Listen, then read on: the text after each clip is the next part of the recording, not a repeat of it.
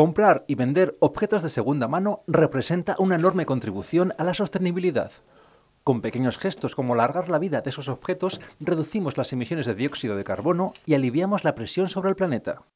Cada vez más gente pues, eh, tiende hacia un consumo más inteligente, más responsable y en este sentido consideramos que es necesario que los españoles sepan que, a través de, gestos sencillos de comprar un móvil a través del mercado de segunda mano o un sofá, pues eh, reducen nuestras emisiones de, de CO2 y estamos protegiendo nuestro entorno.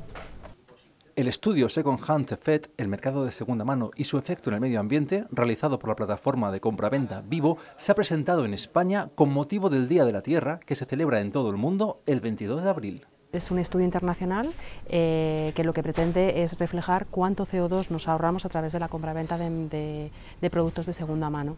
En concreto en España es un ahorro de 700.000 toneladas, que bueno, es muchísimo, pero para que nos hagamos una idea equivaldría pues, a parar todo el tráfico en Madrid durante dos meses y medio, o es el mismo CO2 que emiten 847.000 personas viajando ida y vuelta en un vuelo Madrid-Nueva York. Las múltiples razones que existen para comprar y vender objetos de segunda mano han hecho que este mercado se encuentre en auge y que muchas personas lo hayan convertido en parte de su rutina diaria.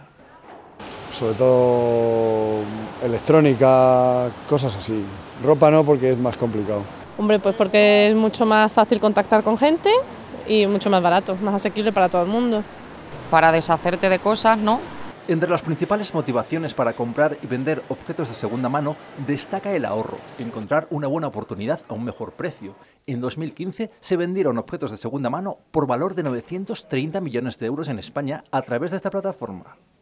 El informe Second Hand Effect se basa en el supuesto de que cada producto de segunda mano vendido sustituye a la producción de un artículo nuevo equivalente, así como la gestión de los residuos de dicho producto. Que es muy fácil, es sencillo, rápido y eficaz.